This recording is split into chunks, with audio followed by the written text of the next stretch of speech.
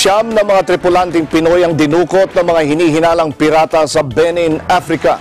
Ayon sa report, naghihintay ang mga Pinoy sa harbor ng Port of uh, Cotonou nang sila ay kidnapin noong umaga ng Sabado, November 2. Ang mga Pinoy crew at kapitan ng barkong Bonita ay dinukot ng mga pirata siyam na milya ang layo mula sa port.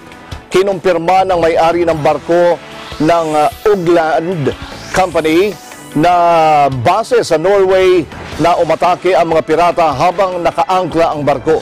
Madalas ang pamimirata sa Gulf of Guinea kung saan ay may mga pagkakataon na ilang araw na dinadivert ng mga pirata ang barko.